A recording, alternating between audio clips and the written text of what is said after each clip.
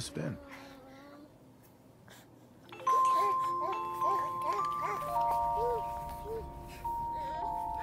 That's my boy. On his best behavior, just like his dad. Well, most of the time, anyway. Listen, after breakfast, I was thinking we could head to the park for a... Weather should hold up.